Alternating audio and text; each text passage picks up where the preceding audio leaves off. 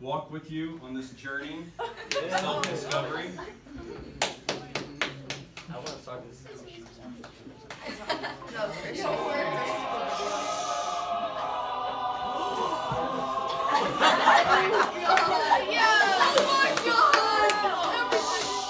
MC Jones. As I sit by the fire where I cook up my beans, I take a look at my life and realize I'm very plain.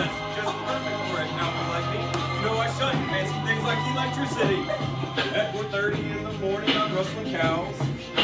Amos packs the wagon and Joseph chows. Fool. I've been it's a long day. Even Benjamin thinks that my mind is gone. I'm a man of the land, I go cattle driving. Got a gun in my hand and a sweet wagon. If I drive all of my cattle you drive thine, then tonight